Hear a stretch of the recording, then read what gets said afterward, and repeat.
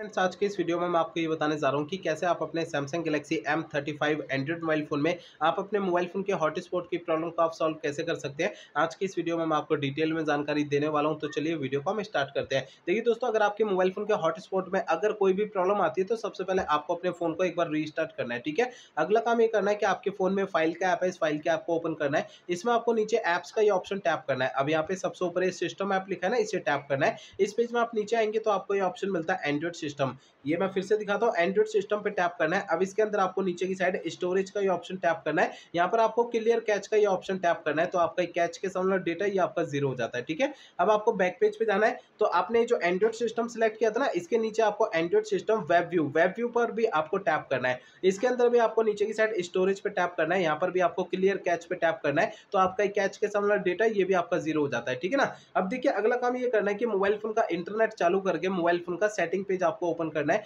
Setting page में सबसे ऊपर सर्च आइकन पे टैप करना है। यहाँ पे सबसे ऊपर सर्च बार में सॉफ्टवेयर अपडेट आपको लिखना है। नीचे सॉफ्टवेयर अपडेट का ये ऑप्शन शो हो जाता है, इसे टैप करना है। अब देखिए, इसके अंदर आपको डाउनलोड एंड इंस्टॉल पे टैप करना है। तो आपको जो है, इस वाले पेज पे कोई भी अपडेट का बटन या डाउनलोड, इंस्टॉल अगर यहाँ पे लिखा हुआ दिखाई देता है तो इसे टैप करके फ़ोन का सॉफ्टवेयर अपडेट करना है, ठीक है? अब देखिए, अगला काम ये करना है, मोबाइल फ़ोन को ना रीसेट करना है। देखिए, मोबाइल फ़ोन को रीसेट आपको तब करना है जब मेरे बताए हुए पिछले प्रोसेस कोई भी काम नहीं करते हैं, तब आपको फ़ोन को रीसेट करना है, अदरवाइज़ नहीं करना है। फ़ोन को रीसेट करने के लिए फ़ोन का आप सेटिंग पेज ओपन कर लीजिए। सेटिंग पेज में आपको सबसे ऊपर सर्च आइकन पे टैप करना है। यहाँ पे सबसे ऊपर सर्च बार रीसेट आपको लिखना है। नीचे आपको ये ऑप्शन मिलता है फैक्ट्री डेटा रीसेट इसे टैप करना है। इसके अंदर आपको ये फैक्ट्री डेटा रीसेट का ऑप्शन दोबारा टैप करेंगे तो इससे आपका फ़ोन रीसेट हो जाएगा और आपकी प्रॉब्लम सॉल्व हो जाएगी। लेकिन फ़ोन को रीसेट करने से पहले दो बातों का ध्यान रखना है। पहली बात ये ध्यान रखनी है, आपके मोबाइल फ़ोन का जो डेटा है उसका बैकअप ले लीजिए अपने फ़ोन में। और दूसरी बात ये ध्यान रखनी है, आपके फ़ोन की जीमेल आईडी और उसका पासवर्ड आपको पहले से नोट करके रखना है। तो ये दो काम पहले करना है, उसके बाद फ़ोन को रीसेट करना है, ठीक है? तो मेरे बताए हुए तरीकों से आपकी प्रॉब्लम सॉल्व हो जाएगी, ठीक है ना?